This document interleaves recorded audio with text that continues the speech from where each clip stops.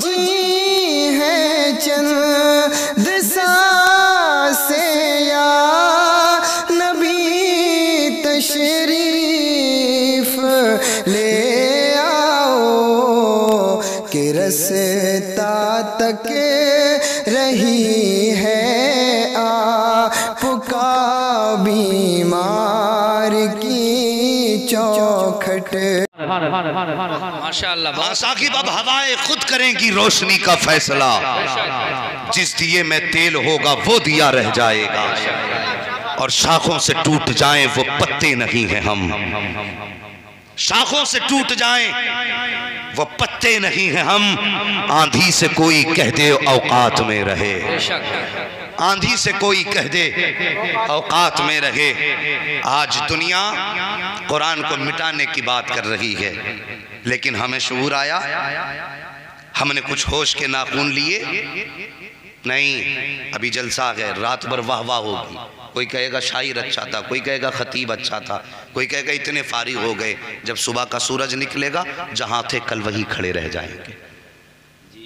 हमारी कौम का अलमिया ये है ये अलमिया हमारी कौम का है कि हमारी कौम का कोई टारगेट नहीं है। कोई मुस्तकिल हम लोगों का जाबता नहीं है, हमें करना क्या पूरी ज़िंदगी में? हर दिन सुबह होती है, दिन भर के काम किए कि कल के कल की कल देखी जाएगी। सो गए, फिर कल निकला, फिर ज़रूरत के काम किए, फिर सो गए कि कल की कल देखी जाएगी, जिसे मिले यूँ वो करे, क्यों? खा रहे हैं, जी रहे हैं, कोई मतलब ही नहीं है, कोई ज़िम्मेदारी नहीं इस्लाम की। हमारे कांधे पे कोई ज़िम्मेदारी है कि नहीं? हमें एहसास होता इस दीन का, अगर हमने भी अपना गरेबान कभी दीन के लिए पकड़वाया होता। हमें इसकी कदर मालूम होती अगर हमने कभी पत्थर खाए होते। हमें इसकी अजमत का पता उस वक्त चलता जब हमने अपने बेटे दीन के लिए गवाए होते। हमारा तो कुछ लगा ही नहीं दीन पे। मुसलमान के घर में पैदा हुए। इमाम साहब ने कान में आके सुहानी आवाज़ में कह दिया, मुबारक हो मदीने वाले का गुलाम बन के पैदा हुआ। है ये शरफ मिल गया। जिसकी उम्मत में पैदा होने की कभी तमन्ना नहीं की थी, उसकी उम्मत में पैदा होने का मौका मिला। ये बड़ी इज्जतें मिली। और उसके बाद होश संभाला, टोपी ओढ़ी, गोश्त खाने लगे, सोचा मुसलमान होने का हक अदा कर दिया। नहीं साहिब। दीन बड़ी मुश्किलों से हम तक पहुँचा है। बहुत मुश्किलों तक। आज तो अल्लाह का शुक्र है, मेरे नबी के गुलामों में ऐसा ऐसा अमीर है कि अगर ज़रूरत पड़ जाए तो पूरा कुरान सोने के तारों से अकेला एक गुलाम लिखाने के लिए तैयार हो जाएगा। आज इस्लाम के दामन में ऐसे ऐसे अमीर भी हैं। और ऐसे ऐसे जाबाज भी है ज़रूरत पड़े तो हँसते हँसते सर कटा देंगे। बेशक। आज इस्लाम के दामन में किसी चीज़ की कमी नहीं है और दुनिया तब्दीली की बात कर रही है। इस्लाम ने वो नाजुक दौर देखे हैं कि जिसके बारे में आज का इंसान तस्वुर भी नहीं कर सकता। अपना मुआशरा देखिए आज हम नमाज़ पढ़ने चले जाएँ। पाँच वक्त की नमाज़ पढ़ने लगे लोग इज़्ज़त करते हैं भाई पाँच टाइम का नमाज़ ही आ रहा है। किस्मत से अगर कोई मुस्तफ़ा के मदीने घूम आए तो लोग कुर्सियाँ छोड़ देते हैं, हाजी साहब आ रहे हैं। और मुकद्दर बुलंद हो, अगर कोई कुरान का हाफिज बन जाए। तो लोग उसे सर पे उठाते हैं। ये आज की तारीख है। और साहिब इस्लाम ने वो दौर भी देखा कि अगर कोई कलमा पढ़ लेता था तो पराए तो पराए अपने साथ छोड़ देते थे। इस्लाम ने वो दौर भी देखा कि इस दौर में नाम लेना नबी का अपनी जान को गंवाने से कम न था। लेकिन साकिब इस्लाम उस वक्त भी हिम्मत नहीं हारा। आप मक्के की तारीख उठाइए मेरे नबी ने ऐलान नबूवत फरमाया। सब साथ छोड़ के चले गए। वो जो कहते थे कि तुम सादिक हो वो जो कहते थे कभी तुम झूठ नहीं बोलते, उन्होंने भी उस दिन कह दिया, हमें तेरी बात नहीं माननी है। और जो नबी को अमानतदार समझते थे, उन्होंने भी कह दिया कि तुम्हारे इरादे दुरुस्त नहीं है। हाँ साहिब, जब सब छोड़ के गए तो एक दस साल का बच्चा खड़ा रह गया था। उस दस साल के बच्चे ने दिल पे हाथ रख के कहा था, महबूब, तनहाई महसूस मत करना, कोई साथ ना दे, ये अली हमेशा तेरा साथ दे। कोई साथ दे ना दे, ये अली हमेशा तेरा साथ देगा साहिब तारीख उठा करके देखिए। अल्लाह अकबर एक दौर था, दस साल का बच्चा साथ था, इस्लाम पढ़ता रहा, इस्लाम पढ़ता रहा, इस्लाम के मानने वालों की तादाद जब अड़तीस हो गई है, एक दिन मेरे नबी गुजर के जा रहे हैं। अबू जहल अपने यारों के साथ खड़ा, मेरे नबी को आते देखा है उसने। जैसी नबी को आते देखा, अपने यारों से कहने लगा, सुनो, मोहम्मद आ रहे हैं, अब इन्हें परेशान करेंगे। मेरे नबी आए, उसने हाथ बढ़ाया नबी के कपड़ों को पकड़ा हिलाना शुरू किया। खुदा की कसम, मेरा नबी कायनात में आतंक फैलाने नहीं आया था, बल्कि फैले हुए आतंक को मिटाने के लिए आया था। उसने हाथ बढ़ाया, नबी ने बात को जाने दिया, कोई जवाब न दिया। उसने जब सोचा, ये कुछ नहीं बोल रहे हैं, उसके हाथ में पत्थर था। मेरे नबी के जिस्म के ऊपर पत्थर चलाया। खुदा की कसम, नबी के सर पे पत्थर लगा, खून बहने लगा। जैसे नबी के सर से खून बहा है, अब मेरे नबी पलट के अब्दुल्ला की चौखट पर नहीं आए हैं। आमीना के आँगन में नहीं आए हैं, बल्कि सीधा रुख किया है, हरम शरीफ की तरफ़ चले जाते हैं और गए हैं खाने काबा के अंदर, सजदे में सर रखा है, रोते जा रहे हैं, अपना दर्द अपने रब से बयान करते जा रहे हैं। अल्लाह अकबर मेरे नबी हरम शरीफ में आए हैं, इधर मेरे नबी के शफीक चचा, जो अभी ईमान नहीं लाए हैं, हज़रत अमीर हमजा एक शिकार से वापस आ रहे हैं, जैसे शिकार से वापस आते थे आप, आपके चलने का अंदाज अलग होता था, यूँ बाजू फैलाते इतरा इतरा के चला करते थे, आप गली में निकल के जा रहे हैं। दो बातियाँ खड़ी हैं, कनीज देख के कहने लगी, अगर इसे पता चल जाता कि इसके भतीजे के साथ क्या किया गया है तो ये इस तरह इतरा करके न चलता, इस तरह अकड़ करके न चलता। इतना सुन्नत अमीर हमजा के कदम ठहर जाते हैं, जैसी कदम ठहरे हैं। आप फरमाते हैं, कहना क्या चाहती हो? का तुम्हें पता नहीं है, आज तुम्हारे भतीजे को अबू जहल ने पत्थर से मारा है। इतना सुनना था, आपने घर का रास्ता छोड़ दिया है, और उधर गए जिधर अबू जहल बैठा हुआ था। जाकर के आपने अपनी कमान संभाली, और अबू जहल के सर पे ज़ोर से दे मारी। इतनी ज़ोर से कमान मारी है कि उसका सर फटा, खून बहने लगा। और एक तारीख साफ़ जुमला आपने कहा था। तू क्या समझता है? मेरा भतीजा लावारिस है, उसका कोई वारिस नहीं है। जो चाहे उसके ऊपर हाथ उठा दे, इतना कह के आप वापस पलटे हैं। कहा लोगों बताओ मेरा भतीजा कहाँ है? किसी ने कहा, हमने हरम में रोते देखा है। किसी ने कहा, खाने काबा के पास जाते देखा है। अल्लाह अकबर, अमीर हमजा आए हैं। मेरे नबी हालत सजदा में है। आने के बाद कहते हैं, मोहम्मद सजदे से सर उठाइए मेरे नबी हैं कि सजदे से सर नहीं उठा रहे हैं। दो मरतबा कहा, सजदे से सर नहीं उठाया। तीसरी मरतबा चचा ने भतीजे के कांधे पे हाथ रखा और रखने के बाद कहा था, जरा सजदे से सर उठाइए। मेरे नबी ने सजदे से सर उठाया है। खुदा की कसम तुम्हें क्या लगता है? उस वक्त क्या खुशियाँ थी नबी के चेहरे पर? आओ, तुम्हारा अगर कुछ लगा हो इस्लाम पे तो दिल थाम करके सुनना। जैसे नबी ने सजदे से सर उठाया है, सरकार का पूरा चेहरा खून में लहूलहान है और जहाँ सर रखा था पूरी जगह आंसुओं से तर हो चुकी है। चचा ने यूँ बाजू फैला के कहा था, भतीजे आ मेरे सीने से लग जा। जैसे इतना कहा था, मेरे नबी ने फरमाया, वारिखीन लिखते हैं, आका करीम ने फरमाया था, चचा, आज मेरा कोई चचा नहीं है। अगर आज मेरे वालिद अब्दुल्ला होते तो मक्के में किसी की हिम्मत ना थी जब मेरी तरफ़ नज़र उठा के देख पाता। अगर आज मेरी माँ आमीना होती तो मैं तनहा हरम में आँसू ना बहाता। हज़रत मीर हमजा की आह निकल जाती है, ज़बरदस्ती सरकार को सीने से लगाया है। उसके बाद कहते हैं, भतीजे खुश हो जा मैं तेरा बदला लेकर के आ गया हूँ। आओ, आतंकवाद कहने वालों, इस्लाम की तारीख को आतंक में बदलने वालों, ये मेरे नबी का तारीख साथ जुमला सुनो। जैसे मीरे हमजा ने कहा था, भतीजे में बदला लेकर के आया हूँ। मेरे नबी ने फरमाया था, चचा, मैं बदले से राज़ी नहीं होता हूँ। कहा, बेटे, फिर कैसे राज़ी हो गए अल्लाह अकबर। उस दिन अमीर हमजा का मुकद्दर औज पर था। ये कह बैठे, फिर बताओ कैसे राज़ी हो गए इतना सुनना था। मेरे नबी फरमाते हैं चचा जिस रब की इबादत में करता हूँ तुम भी उस रब की इबादत करो। अगर वो रब राज़ी हो जाएगा मदीने वाला मोहम्मद राज़ी हो नारे तकबीर नारे रिसाल अहले सुन्नत खतीब अहले सुन्नत। साहिब कदर कर लो इनकी। ये कुरान वाले हैं, ये इस्लाम वाले हैं। बड़ी मुश्किल से दीन हम तक पहुँचा गए। इतना सुना चचा, फ़ौरन आगे बढ़े हैं। लहजे देखिए कितनी तेज बदले हैं। ईमान नहीं लाए तो भतीजा कह रहे थे, जैसे ईमान लाए हैं, जबान पे आता है, या रसूल अल्लाह अब अपना बना लीजिए। अल्लाह अकबर, ईमान लाते ही लहजे बदल गए हैं। जैसी मेरे नबी के शफीक चचा ईमान लाए, सरकार अपनी जगह से फ़ौरन हटे और जाके खाने काबा का गिलाफ पकड़ा और सीने से लगा के कहने लगे या अल्लाह तूने इस्लाम को एक शेर तो दे दिया है दूसरा शेर भी अता फरमा दे। सुभान अल्लाह हाँ, इस्लाम की तारीख है। अल्लाह एक शेर तो दे दिया है दूसरा शेर भी दे दे। वो दूसरा शेर कौन है? हाथ उठ गए नबूवत वाले। और कहने लगे या अल्लाह या तो अमर इबन हशाम दे दे या उमर इबन खत्ताब दे दे। मुकद्दर बुलंद था हज़रत उमर का। जिस दिन ये दुआ मेरे नबी ने मांगी, वो दिन बुध का था। कौन सा दिन था? बोलो जिनके मुँह बंद हैं, वो रखें अपना बंद। हाँ नबी को किसी का एहसान नहीं चाहिए। कौन सा दिन था? बुध का दिन। अल्लाह सलामत रखे। अब बोले ना बोले। बुध का दिन। अमीर हमजा ईमान लाए, मक्के में बातें होने लगी। कहने लगा, अब इस्लाम कैसे रोका जाए? अब तो हमजा भी ईमान ले आए। और अमीर हमजा की बहादुरी के आगे किसी में दम था कि टिक जाता? बड़े अच्छे अच्छों के पसीने छूटते थे। लोग कहने लगे, अब तो इस्लाम और तेज़ी से बढ़ेगा।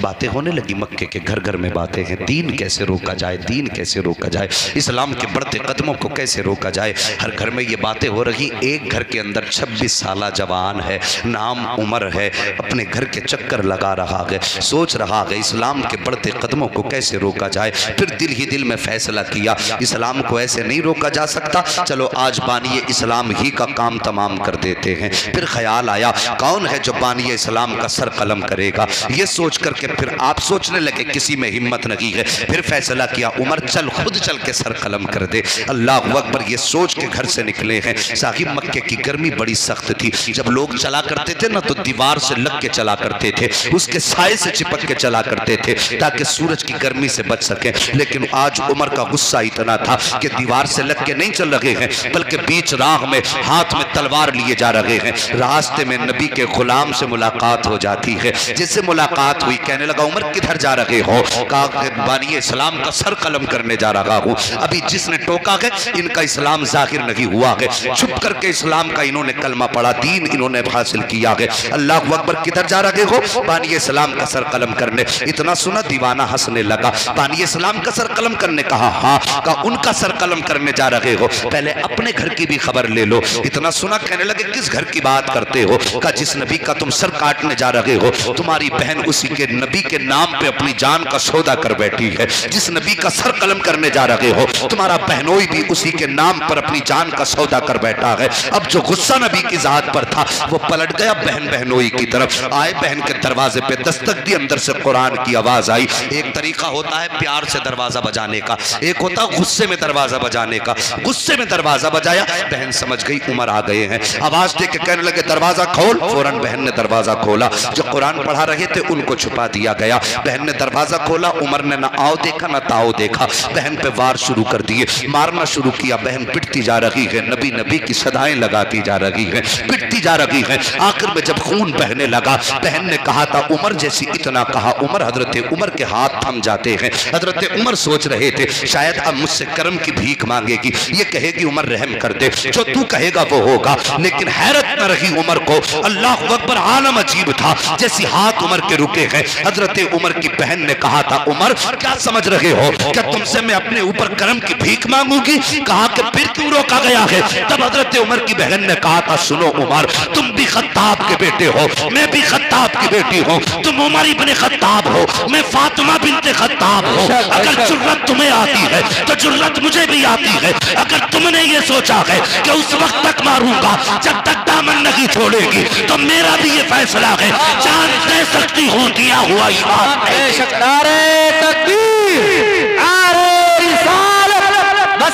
आला हज़रत अजमत इस्लाम। मुफ्ती साहब इस्लाम की फितरत में कुदरत ने लचक दी है। जितना कि दबाओगे उतना ही उभरेगा। क्या बात है भैया। अल्लाह अकबर का उमर। तू उमर इबन खत्ताब है, मैं फातिमा बिनते खत्ताब हूँ। सोच ले क्या करना है। ना मैं अपना इरादा बदल सकती हूँ, ना तू अपना इरादा। हज़रत उमर ने इतना सुना, कहने लगे वो फातिमा, उमर वो है जिसके सामने मक्के का बड़ा बड़ा सरदार नहीं बोलता। तू बता, तुझे ये जुर्रत किसने दी है? तू औरत होके इतनी बोल रही है? हज़रत फातिमा बिनते खत्ताब ने कहा था उमर तूने मेरे महबूब का चेहरा सही से देखा नहीं है। हाँ बेशक क्या बात है। अगर देख लेगा ये सवाल ही नहीं करेगा। अल्लाह अकबर इतना सुनना था उमर के दिल में अजीब कैफियत तारी हुई। कहने लगे बहन फिर बता वो कुरान कौन सा है जिसे तू पढ़ रही थी? मुझे भी दे मैं भी देखना चाहता हूँ। हाँ साकिब अब कुरान का मुआजा देखो। यहाँ तक फातिमा बिनते खत्ताब का कमाल है अब कुरान का कमाल देखिए। कहा बहन बता तो सही। ला वो कुरान मुझे दे दे। इतना सुना बहन कहती है, उमर, तू नापाक है, हमारा कुरान पाक है। नापाक आदमी पाक कुरान को हाथ नहीं लगा सकता है। अगर कुरान को छूना चाहते हो तो गुस्ल करना पड़ेगा। का बता गुस्ल कैसे किया जाता है? खत्ताब की बेटी फातिमा ने गुस्ल का तरीका बताया है। अब उमर गुस्ल कर रहे हैं। गुस्ल में सिर्फ़ मैल नहीं धुल रहा था, उमर के दिल का कुफ्र भी धुलता जा रहा है। कुफ्र भी धुल रहा है। अल्लाह अकबर गुस्ल मुकम्मल हुआ। का अब लाओ मेरे हाथ में कुरान दे दो। तो कुरान की वो आए थे जो किसी चमड़े पे लिखी हुई थी या किसी तख्ती पे लिखी हुई थी, फातिमा बिनते खत्ताब ने उमर के हाथ में ला के रखी है। जैसी हज़रत उमर ने हाथ में वो आयतें ली हैं, पहली निगाह उमर की लफ्ज ताहा पे पड़ जाती है। लफ्ज ताहा पे नज़र का पड़ना था, बस कमाल हो गया है। अब हज़रत उमर कुरान को पढ़ते जा रहे हैं, रोते जा रहे हैं, पढ़ते जा रहे हैं, रोते जा रहे हैं। बदन कांपने लग जाता है, कहते, फातिमा, अब देर न कर, मुझे भी उस महबूब की चौखट पे ले चल, जिसने तुझे ये मुबारक कुरान ला करके दिया है। अल्लाह अकबर, अब देखो तो सही तारे बनी अरकम है। इस्लाम का पहला मदरसा है, जहाँ पर छुप करके लोगों को दीन सिखाया जा रहा है। हज़रत उमर फारूक आज़म ने उसी तारे बनी अरकम का रुख किया है। जब चलने लगे, लोगों ने कहा, आका उमर आ रहे हैं। हाथ में तलवार है, इरादा अच्छा नहीं लग रहा है। हज़रत अमीर हमजा कहने लगे, आने तो अब हमजा आ गया है। अगर नीयत अच्छी होगी तो इस्तकबाल किया जाएगा। और अगर नीयत खराब होगी तो गर्दन भी उसी की होगी, तलवार भी उसी की होगी। उसी की तलवार से उसी की गर्दन कलम करूँगा। ये कहने के बाद हज़रत अमीर हमजा चुप हो जाते हैं। इतने में हज़रत उमर दरवाजे पे आए हैं। जैसी आय दस्तक दी गई, दरवाज़ा खुला पहला कदम उमर ने रखा था कि दो सहाबा आगे बढ़े हैं। उन्होंने दोनों बाजुओं से हज़रत उमर को पकड़ा। मेरे नबी ने फरमाया, छोड़ दो उमर को। जब छोड़ दिया गया, उमर करीब आए हैं। मेरे नबी अपनी जगह से उठ के खड़े हुए हैं और उठने के बाद आपने अपना दाना हाथ हज़रत उमर के दिल के ऊपर रखा और रखने के बाद फरमाया था, असलिम या उमर ए उमर, इस्लाम कबूल कर ले, ए उमर, इस्लाम कबूल कर ले। इतना कहना था, कदम पकड़ के रोने लग जाते हैं। कहते, महबूब आप कलमा पढ़ने की बात करते हो। आज के बाद उमर आपके कदमों से जुदा नहीं होगा। अल्लाह अकबर, हज़रत उमर ने कलमा पढ़ा है। उसके बाद अगला सवाल मेरे नबी से करते हैं। या रसूल अल्लाह बताइए, क्या हमारा दीन सच्चा है? मेरे नबी ने फरमाया था हाँ। क्या हमारा कुरान सच्चा है? नबी ने फरमाया हाँ। फिर हज़रत उमर ने कहा था, या रसूल अल्लाह जब हम सच्चे हैं तो छुप के इबादत क्यों करते हैं। मेरे नबी ने फरमाया था, उमर, वक्त की नजाकत को समझो, वक्त के हालात के तकाजे को समझो। इसलिए छुप के इबादत की जा रही है। हज़रत उमर ने कहा था, या रसूल अल्लाह अब इबादत छुप के नहीं की जाएगी, बल्कि इबादत खुल के की जाएगी। अब उमर आ गया के दामन में। इतना कहना था। हज़रत उमर कहते हैं, या रसूल अल्लाह अब नमाज़ हरम में अदा की जाएगी। आओ जरा तारीख उठा करके इस्लाम की देखो। हज़रत उमर चले हैं तो मुसलमान अब हज़रत उमर के साथ चालीस की तादाद मुसलमानों की हुई है, दो सफे मुसलमानों की बनी है। एक सफ की कयादत हज़रत अमीर हमजा कर रहे हैं, दूसरे सफ की कयादत हज़रत उमर फारूक आज़म कर रहे हैं और बीच में नबियों का सरदार चल रहा है। हरम काबा की तरफ़ जा रहे हैं, उमर के हाथ में तलवार है, कहते जा रहे हैं, अगर किसी को बच्चे यतीम कराने हैं तो उमर के मुकाबले में आ जाए। अगर किसी को बीवी को बेवा बनाना है तो उमर की तलवार का सामना करे, ये कहते जा रहे हैं। अब जैसी पता चला है कि उमर ने नबी का कलमा पढ़ लिया है तो कुफर कमरे के अंदर बंद हो गया था। हिम्मत न थी जो कोई सामने आ जाता। जब कोई सामने न आया, हज़रत उमर गए हैं, हर जालिम के दरवाजे पे गए, दस्तक देते, आवाज़ आती, कौन? कहते, उमर आया है। इतना सुनना होता, ऐसा लगता था जैसे सबकी रूह निकल गई है। सन्नाटा फैल जाता। और उमर कहते, आओ, हिम्मत हो तो जरा घर से बाहर निकलो। आज से पहले कलमा पढ़ने वालों को सताया है। आओ, आकर के आज कलमा पढ़ने वालों का मुकाबला करो। ये उमर गलियों में नारे लगाते घूम रहे हैं। गलियों में नारे लगा रहे हैं। जब एक गली का मोड़ हज़रत उमर ने मोड़ा है, एक खातून जिनका नाम हज़रत जुनैरा है, अल्लाह अकबर इनके चेहरे पे निगाह पड़ जाती है। जैसी निगाह पड़ी है सुनहरा ने उमर को देखा है। उमर ने सुनहरा को देखा है। सुनहरा रोने लग जाती है। कहती, उमर, जरा ठहर तो सकी हज़रत उमर ठहर जाते हैं। कहा, तुझे वो दिन याद है कि एक दिन मेरे मालिक ने मुझसे कहा था, तू किसका नाम लेती है? तो मैंने कहा था, मैं अपने महबूब का नाम लिया करती हूँ। उसने कहा तेरे महबूब का नाम क्या है? तो मैंने अपने महबूब का नाम मोहम्मद बताया था। का इतना बताने की देर थी। मेरे मालिक ने मुझ पे पत, मुझ पे कोड़े बरसाए और जब वो मार मार के थक गया था उमर तुम्हें याद है कि तुम एक गली से आ रहे थे? तो तुमसे कहा था मेरे मालिक ने कि अब इसको कोड़े तुम लगाओ। का उमर वो दिन याद है तुमने मुझ पे कोड़े बरसाए थे और जब तुम थक गए थे मारते मारते फिर उसके बाद तुमने मेरे गले में कोड़ा डाल के ऐठा था जिसकी वजह से मेरी आँखें निकल आई थी। अल्लाह अकबर बड़ी दर्दनाक तारीख है इस्लाम की। हाँ हाँ साहिब, हम नमाजी बन गए तो इज्जतें मिली है। हम हाजी बन गए तो इज्जतें मिली है। जिन्होंने नबी के नाम पे कलमा पढ़ा है, कितनी कुर्बानियाँ दी है। आओ कौम की शहजादियों, जरा तुम भी कान खोल करके सुन लो। कभी कभी जलसे में आया करती हो और उसके बाद जैसा मौसम वैसी हो जाया करती हो। तुम पे भी हक बनता है कनीज फातिमा बनने का। तुम भी अपने ईमान का जरा जायजा लो तारीख के आईने में। यही सुनहरा है। इन्होंने इस्लाम कबूल किया है। जब नबी नबी की सदाएँ इनकी जबान पर रहा करती थी। इनका मालिक मारा करता था। एक दिन अबू जहल सामने से आया और यही सुनहरा सामने से आई है। तो इन्होंने उमर हज़रत सुनहरा ने जब अबू जहल को देखा ना तो होना क्या चाहिए था? कि दुश्मन है, ताकतवर है, जबान बंद कर लेती। लेकिन जब दुश्मन को देखा ना, जबान बंद नहीं की है, बल्कि ज़ोर से कहने लगती है, नबी नबी नबी नबी नबी नबी। जब ज़ोर से कहना शुरू किया है, अबू जहल करीब आया, कहने लगा सुनहरा पता तो सकी किसका नाम ले रखी है? का महबूब का नाम ले रखी हूँ? का तुझे डर नहीं लगता? मैं तेरे साथ का सुलूक करूँगा। जैसी इतना सुना सुनहरा ने कहा था, नादान, तूने जाना नहीं है। ये सुनहरा के जिस्म पे गोश्त तो बचा नहीं है। जो हड्डियाँ रह गई है, इसमें गूदा नहीं है। बल्कि हड्डियाँ तोड़ के देख, हर हड्डी के अंदर इसके रसूल की सदाएँ नज़र आ नारे तकबीर रिसालत मसल के आला हज़रत मुफ्ती हम्माद साहिब किबला। बहुत अच्छे बहुत अच्छे। क्या बात है। कुर्बानियाँ देखो इस्लाम की। आज एक बोरी दे दे मरा जा रहा एक बोरी दे के। देख के जाता यहाँ लगी थी। मेरी नमानी इतनी दीवार निकाल लूँगा। बहुत बड़ा काम कर दिया तूने दीन के लिए। ईंटें गिन गिन के दे रहा इक्कीस दे दी? भट्टे वालों के पास पहुँच जाओ तो कहते हैं, पंद्रह सौ ले जाओ। और जन्नत में महल मुँह फाड़ के लेगा। कि जितने ही मिल जा, कम ही कम है। शर्म नहीं आती हमें? नबी के नाम पे इतने बड़े सौदे हमारे? और सुनहरा की कहानी देख। औरत है मर्द नहीं। मगर इश्क किया है मदीने वाले महबूब से। दिल दिया है अब्दुल्ला के लगते जिगर को। और साहिब कितना खरे उतरे ये लोग इश्क की कहानियों में।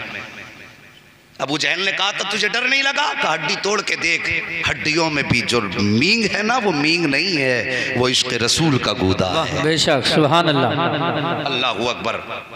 मालिक को बुलाया हज़रत जुनैरा के अबू जहल ने। कहने लगा, देख, इसकी हिम्मत देख, मुझसे कह रही है कि मुझे डर नहीं लगता। उसका मालिक आया। आने के बाद जुनैरा के मालिक ने सरिये गर्म किए और गर्म करने के बाद कहा था, जुनैरा, आज आखिरी बार तुझे बस समझा रहा हूँ। या तो उसका नाम लेना छोड़ दे, वरना तेरी आँखें निकाल लूँगा। हज़रत जुनैरा मुस्कुराई, कहने लगी, बहुत कम कीमत लगाई है तूने महबूब के इश्क की। ये आँखें तो कुछ भी नहीं है। अगर खुदा लाख जिंदगियाँ दे दे, सारी ज़िंदगी महबूब के नाम पर पे लुटाने के लिए बेशक सुभान अल्लाह अकबर।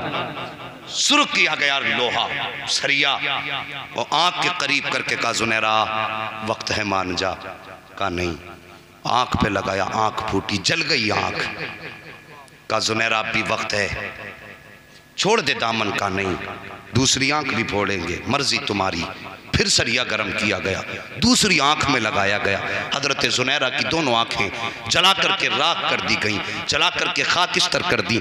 दोनों आँखें फूट चुकी हैं, खून बहने लगा है। उसके बाद हाथ बांधे गए हज़रत सुनहरा के और पैर बांधने के बाद शहर के चौक में डाला गया और कहा था सुन, तू जिस महबूब का नाम लेती है, आँखें हमने ले ली हैं। अब उससे कह, वो तुझे आँखें दे सकता हो तो आँखें दे दे। अल्लाह अकबर, जुनैरा के हाथ भी बंधे हैं, पैर भी बंधे हैं। हाँ हाँ साकिब एक चौक में पड़ी हैं। रो के कहती हैं, या अल्लाह, आज मेरे पैर बंधे हैं, चल के कैसे जाऊँ? मुझे कुछ नज़र भी नहीं आता, तेरे महबूब को कहाँ तलाश करूँ? मेरे अल्लाह मेरी सदा मेरे महबूब के कानों तक पहुँचा दे। ये जुनैरा ने रो के कहा था हाँ साकिब, याद रखो, वल्लाह वो सुन लेंगे, फरियाद को पहुँचेंगे। इतना भी तो हो कोई जो आ करे दिल से। जुनैरा ने कहा था, ए अल्लाह, मेरे ये दर्द की कहानी मेरे महबूब के कानों तक पहुँचा दे। अल्लाह अकबर इतना कहना था। हज़रत जुनैरा के चारों तरफ़ नबुवत की खुशबू तवाफ करना शुरू कर देती है। समझ जाती है कि महबूब आने वाला है, महबूब आने वाला है। जैसे जैसे खुशबू बढ़ती गई, एहसास होता गया मुस्तफ़ा के करीब होने का।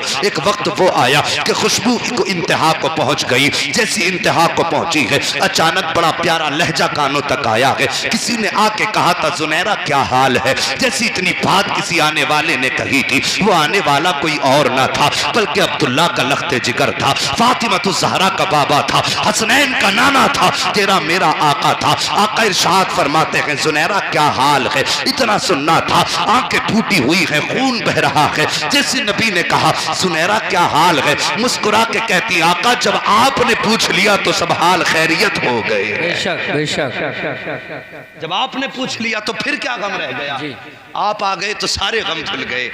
मेरे नबी ने फरमाया सहाबा जुनैरा के हाथ खोलो। हाथ खोले गए, पैर खोले गए, खून बह रहा था। जैसे हाथ पैर खोले गए, उठ के खड़ी हुई रोने लगी।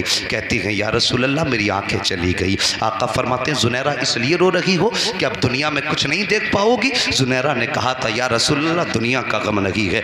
गम इस बात का है कि अब जीते जी आपका चेहरा नहीं देख पाऊँगी। मेरी ख्वाहिश तो ये थी, जब तक साँसें चलती रही, महबूब मेरी नज़रों में तेरा चेहरा रहना चाहिए। आका, मैं चाहती हूँ, जब तक ज़िंदा रहूँ, मैं आपका चेहरा देखती रहूँ। मेरे नबी ने इतना सुना, अपना लुआब दहन लिया। हज़रत जुनैरा की आँखों में लगाया है। जैसे लुआब दहन लगाया है, हज़रत जुनैरा की आँखों में रोशनी आ जाती है। आँखें पहले से ज़्यादा खूबसूरत हो जाती हैं। अल्लाह अकबर किसी ने कहा था, जुनैरा, बता तो सकी, कुछ फ़र्क है कि नहीं पहले की और अब की आँखों में? तब जुनैरा ने कहा था, ओ लोगों, जिस दिन मुस्तफ़ा ने लुआब दहन लगाया था, आँखों में ऐसी रोशनी आई थी कि ऐसी रोशनी कभी सुनहरा की ज़िंदगी में नहीं आई थी। तभी तो बरेली के इमाम ने कहा था जिनके तलवों का धोबन है आबे हयात है वो जाने मसीहा। हमारा नबी कौन देता है? देने को चाहिए देने वाला है सच्चा हमारा। सुभान अल्लाह नारे तकबीर नारे रिसालत बस लके आला। अच्छे बहुत। तवज्जो है? सुभान अल्लाह सुभान जरा सारे कह दो हाथ उठा के या रसूल अल्लाह। अल्लाह सलामत रखे उन हाथों को। जो नबी के नाम पे उठे। और साहिब यही जुनैरा है। कहती, उमर, एक दिन वो था कि जिस दिन तुम मुझे कोड़े मार रहे थे, जरा सच बता, उमर तो वही है, लेकिन आज लहजा बदला है। जो कल नबी का नाम छुड़ाने की कोशिश कर रहा था, आज वो उमर नबी की इज्जतों पे पहरे कैसे देने लग गया? उमर, कहानी क्या है? देखा जुनैरा का चेहरा, कहने लगे, जुनैरा जब तक महबूब के करीब नहीं हुआ था, उस वक्त तक महबूब की अजमतों से ना आशना था। जिस दिन से उनके करीब हुआ गए, उमर उनके नाम पे बिक गया है। उनके नाम पे बिक गया है। अल्लाह अकबर, इस्लाम ने ये दौर भी देखा। वो हज़रत उमर फारूक आज़म का दौर। अल्लाह अकबर चालीस बने, फिर आगे बढ़े। कुफर दांत मसल मसाने लगा। अब कैसे रोका जाए? साहिबो, कभी अपने घर में भूख नहीं देखी हमने। कभी अपने घर में प्यास नहीं देखी हमने। हमारी बेटी, बेटे अगर एक रोज़ा रख लें, बचपन में तो शाम को हम आते हैं ना तो ये सोचते हैं मार्केट से क्या क्या ले लें? आज मेरी बेटी का रोज़ा। क्या क्या खरीद लें? आज मेरे बेटे ने रोज़ा रखा है। और साकिब इस्लाम ने वो दौर देखा, जब मक्के वालों ने मुस्तफ़ा और उनके चाहने वालों का सोशल बाइकाट किया। और ऐसा बाइकाट ऐसा बाइकाट कि यह ऐलान हो गया, ना हम तुम्हारी मौत में शरीक हैं, ना तुम हमारी मौत में शरीक हो।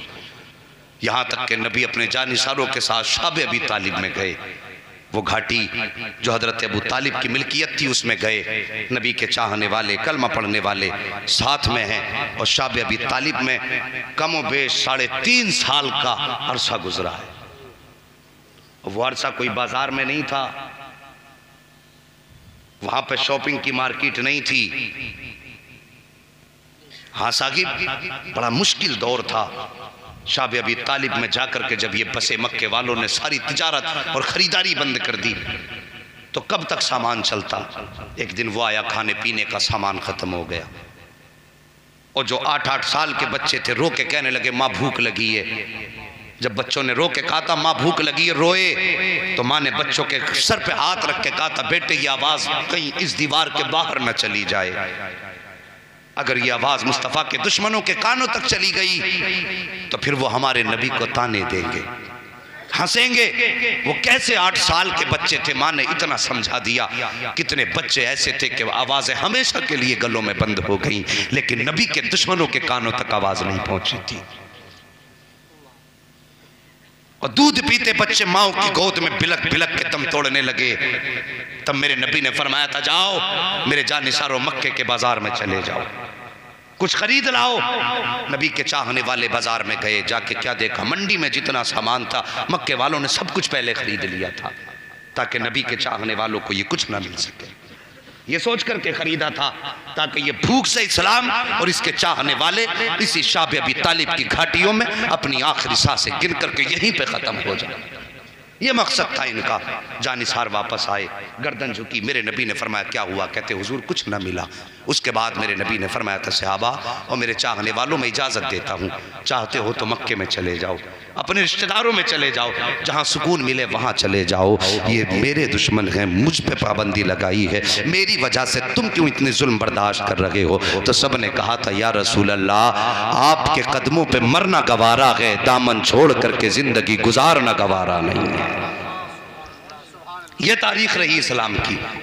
अल्लाह अकबर, शाब अबी तालिब की दर्दनाक कहानी सुनो। एक दिन मेरे नबी आए, घूम करके आए। उसी घाटी के अंदर मेरे नबी ने कदम रखा। सरकार की प्यारी बीवी हज़रत खदीजतुल कुबरा सामने थी। नबी ने फरमाया, खदीजा, मेरी बेटी नज़र नहीं आ रही है। और उस घाटी के अंदर सिर्फ़ नबी नहीं थे, नबी की बेटियाँ भी थी, बीवी भी थी। सरकार की हज़रत खदीजतुल कुबरा कहने लगी, हुजूर, मेरी कमर के पीछे खड़ी है। आका ने फरमाया, मेरी बेटी मेरे सामने क्यों नहीं आई? और साहिब बेटी बेटी होती है। हज़रत खदीजतुल कुबरा कहने लगी, या रसूल अल्लाह आज कई दिन का फाका हो गया बेटियों का। चेहरे इतने उतर गए हैं कि बेटियों को मालूम है, हमारे बाप को वैसे ही तबलीग की वजह से काफ़ी परेशानियों का सामना करना पड़ रहा है। और हमारे उतरे चेहरे देखेंगे तो हमारे बाप कैसे बर्दाश्त करेंगे? मेरे नबी ने फरमाया, खदीजा, मेरी बेटियों को मेरे सामने करो। हज़रत खदीजा ने यूँ कमर के पीछे हाथ डाला ना, हज़रत जैनब का हाथ आ गया हाथ में, इधर सामने किया, हज़रत जैनब आई, फिर हाथ पीछे किया, सैयदा फातिमा का हाथ आ गया। जब सामने किया, मेरे नबी ने छोटी बेटी का चेहरा देखा ना, घुटने ज़मीन पे रखे और ऐसे बैठ गए जैसे हम अपने बच्चों से प्यार करने के लिए बैठा करते हैं।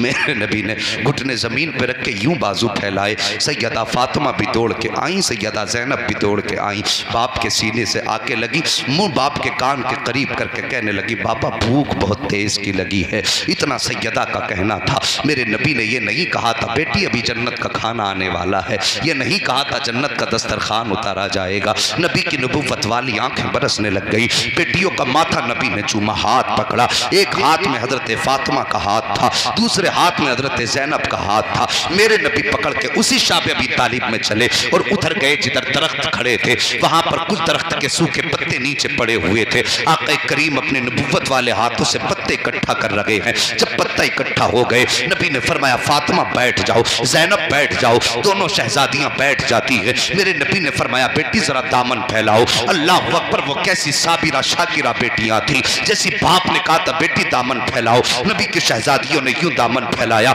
मेरे नबी ने नबूवत वाले हाथों से जब पत्ते उठा करके बेटियों की गोद में डाले थे, अल्लाह अकबर अर्श के मलाइका तड़पने लग जाते हैं। इल्तजा करते हैं, या अल्लाह, अगर बनी इसराइल ने खाने का सवाल किया है तो तूने मन्नो सलवा उतार दिया है। अगर उनको ज़रूरत पड़ी है तो बादल ने साया किया है। ए मेरे परवरदी परवरदिगार अगर ताज़ा खाना मांगा है तो रोज ताज़ा उतारा गया है। मगर मेरे मालिक ये मंजर तो देख ले। या ये मंजर कोई अजीब नहीं लगता है। क्या तुझे ये तू ए मेरे परवरदिगार? ये देख तो सही, ये आज जो बेटी है, बनी इसराइल की बेटी नहीं है, सैयदुल अंबिया की बेटी है, तेरे महबूब की बेटी है। ए मेरे परवरदिगार, इजाज़त दे तो जन्नत का खाना लेकर के चले जाए। इनके कदमों पर जाकर के दस्तरखान बिछा दे। रब ने फरमाया था फरिश्तों, मेरे महबूब को तुम नहीं जानते हो। जितना मैं जानता हूँ, उतना तुम नहीं जानते हो। ए फरिश्तों, तुम्हें क्या मालूम है? मेरे महबूब को जन्नती खाना की नहीं चाहिए, का फिर क्या चाहिए? का देखो अभी पता चल जाएगा। मेरे महबूब को क्या चाहिए?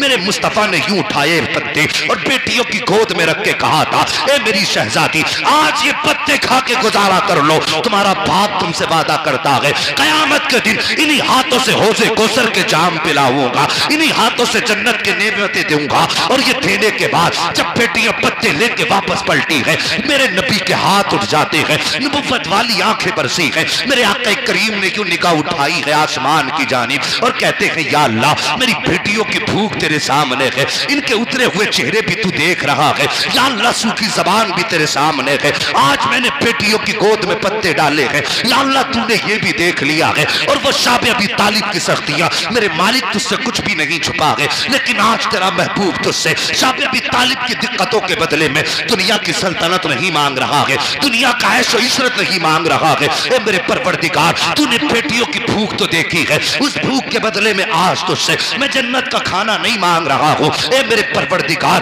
तेरा महबूब बस इतना चाहता है, जब कयामत का दिन हो, उम्मत पुल से रात से गुजरती होगी। अच्छे गुजर जाएँगे, पापी कट कट के गिरेंगे।